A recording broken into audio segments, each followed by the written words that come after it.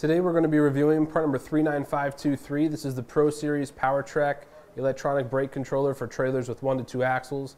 This is a time delayed brake controller. It's going to activate the electric trailer brakes. A signal is going to be sent to the trailer brakes when the tow vehicle brakes are activated or when the manual override is activated. Uh, it's also going to feature the adjustable output control that's going to let you determine the amount of braking force.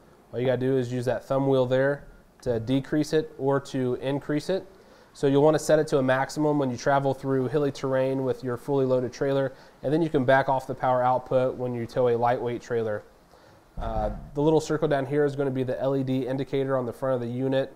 It's going to show green, uh, which is going to indicate the, the brakes are connected, and then the color is going to change to orange and then to red as the power output increases, which we'll show you that here in a few moments.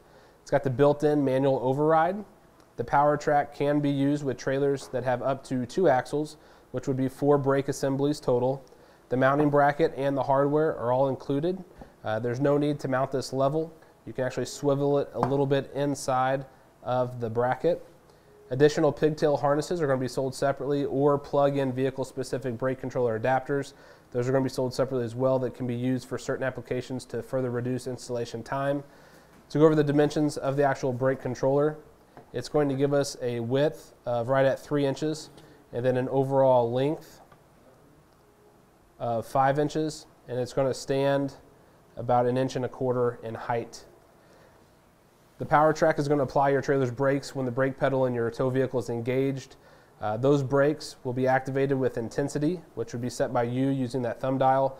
The output again is adjustable to suit your preference as well as road conditions, type of trailer, and whatever kind of load that you're carrying. You can also apply the brakes manually, again with that integrated override system.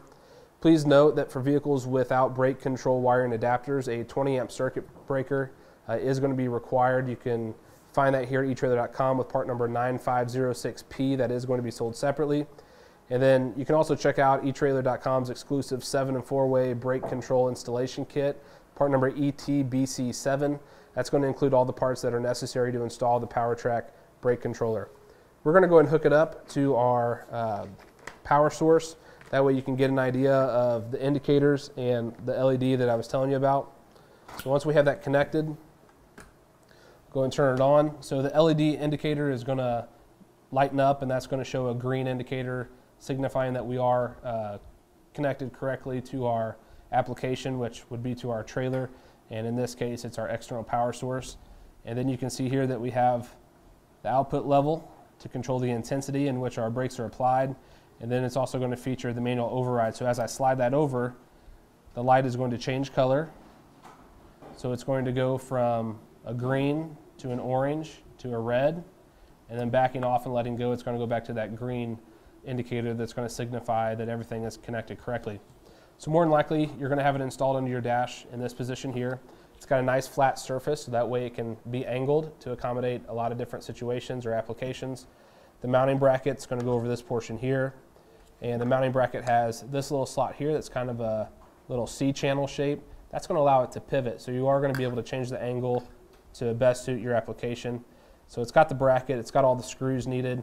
All you got to do is screw it into the surface that you want and then attach it to the brake controller, and it's going to be fully set and ready for use. That's going to do it for today's review of part number 39523. This is the Pro Series PowerTrac electronic brake controller.